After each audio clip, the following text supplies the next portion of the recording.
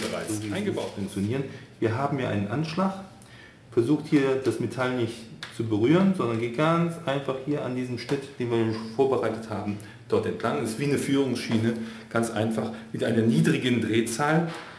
Äh, tragt eine Schutzbrille dabei, sodass euch der Dreck nicht ins Auge fliegt oder in die Scheibe kaputt geht, äh, euch das Gesicht beschädigt wird. Also Vorsicht mit diesen drehenden Teilen.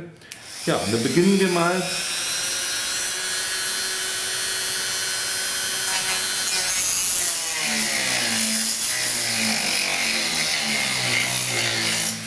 gehen vorsichtig da entlang, ohne viel Druck. So, das wird ein schöner Schnitt. Machen wir das so weiter.